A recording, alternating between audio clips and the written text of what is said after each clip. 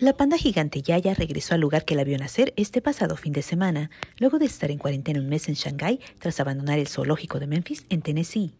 El zoológico de Memphis hizo una fiesta de despedida para Yaya antes de su partida e indicó que extrañaría a la panda. Su marcha marca el final de un acuerdo de préstamo de 20 años con la Asociación China de Jardines Zoológicos.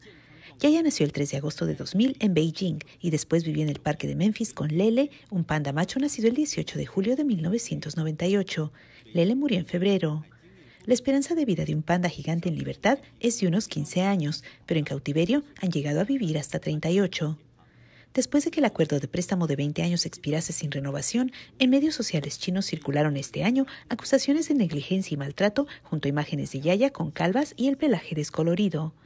El zoológico de Memphis indicó en un comunicado que la calidad de vida de Yaya no se veía afectada por los problemas en el pelaje y señaló que reportaban cada mes sobre la salud del animal a la Asociación China de Jardines Zoológicos. Añadió que el problema crónico de piel y pelaje era inherente al sistema inmunitario de la panda y que es afectado por fluctuaciones hormonales.